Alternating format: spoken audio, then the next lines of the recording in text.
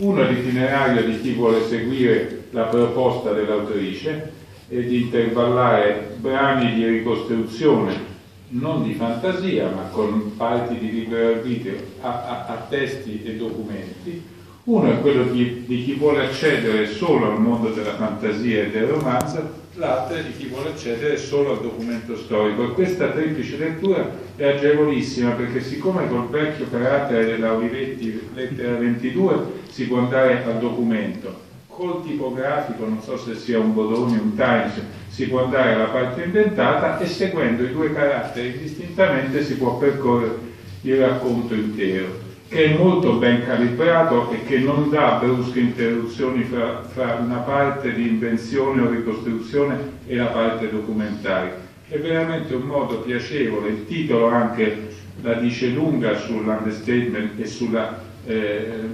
verità dell'impostazione perché il controluce, lo sanno i fotografi, è un modo in cui si vede solo il profilo e non si ritrae altro, dunque non c'è la pretesa di dare a tutto tondo burri, ma c'è di darne un profilo, uno tra i tanti mille profili possibili. Io chiudo questa brevissima nota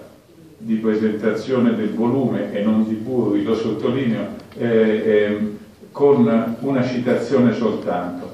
tra le tante cose belle, tra le tante belle pagine di questo libro, mi azzardo ad affidarmi alla memoria nel citarvi solo due versi di Cesare Brandi riportati nel libro. Sono due versi riferiti al giorno in cui Buri si innamora, eh, diciamo, del suo amore alternativo a quello coniugale. E Brandi scrive su un tovagliolo, su un fazzoletto, su un pezzo di carta, è una serata gioiosa e patetica, pur se la cosa sembra antitetica. Grazie.